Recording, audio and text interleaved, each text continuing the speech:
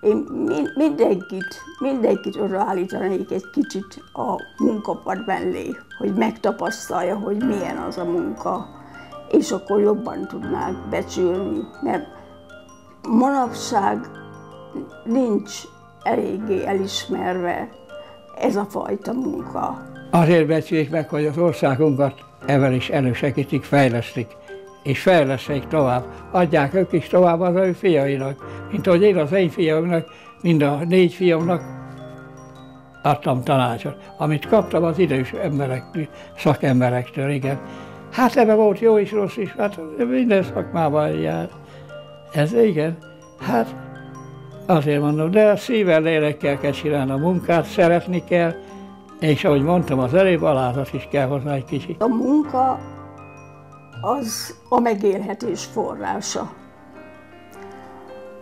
És véleményem szerint mindegy, hogy kézkezű munka, vagy észbeli munka, vagy észszel végzi valaki a munkáját, azt egyformán meg kell becsülni, és, és nem szégyen művelni a kétkezi munkát. Én csak tisztelni tudom azokat, és ajánlom azt, hogy mindenki végezzen kétkezi munkát is, és megtudja, hogy mi az, és akkor jobban tudja becsülni, akár egy értelmiségi ember is.